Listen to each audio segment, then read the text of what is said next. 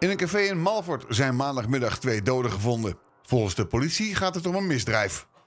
Om tien over één kregen wij een melding van een passant eh, dat hij in het café een dode had zien liggen. Vervolgens hebben wij eh, onderzoek gedaan en uh, troffen daar inderdaad een dode aan. Uh, we hebben de zaak bevroren, dus dat betekent dat je de situatie houdt zoals die op dat moment wordt aangetroffen. Uh, en een half uur, drie kwartier later hebben wij uh, wederom het uh, café bezocht uh, met de forensische opsporing en troffen toen nog een tweede dodelijk slachtoffer aan.